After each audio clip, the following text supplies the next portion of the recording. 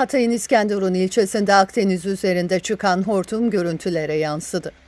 Meteorolojinin uyardığı yağışlı hava ara ara Hatay'ın İskenderun ilçesinde etkili oluyor.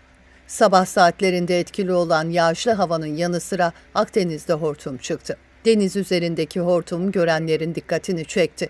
Bulutlarla birleşen hortum bir süre sonra etkisini kaybederken o anlar cep telefonu görüntülerine yansıdı. Hortum nedeniyle herhangi bir olumsuz durumun yaşanmadığı bildirildi.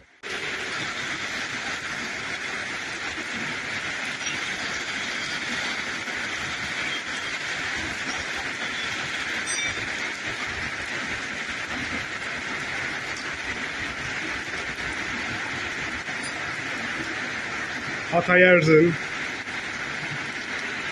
hortum oluştu.